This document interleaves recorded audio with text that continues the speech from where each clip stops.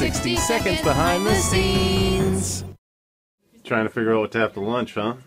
Yeah, I, I don't know what to eat. It's a short week. So I bet I know what it's not. something. What? Stuffing. Salad. Stuffing. I saw your article on our sister website, ctboom.com. You got a, a problem with stuffing, huh? I don't understand people's love of stuffing. It's gross. It's wet, soggy bread. It's been stuffed in the rear of a turkey with lousy vegetables like celery and salt and onions, and Do you understand any of this nonsense?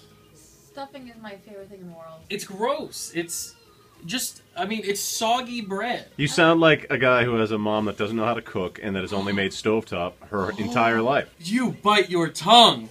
Sheila's gonna have a word with you. Anna, what are some of the things you can put in stuffing? Well, in my family, we make three different kinds of stuffing. Oh, There's the regular stuffing that comes out of the turkey, which I don't eat because I don't want the turkey stuffing.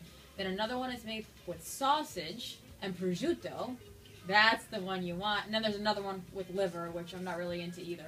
Why wouldn't you like sausage and Because that's not stuffing. That's like a casserole. When you make it in a dish and you put it in the oven, that's not stuffing. Stuffing, by the name, is stuffed into the turkey and prepared in the turkey. Well, you're wrong. And it's all gross.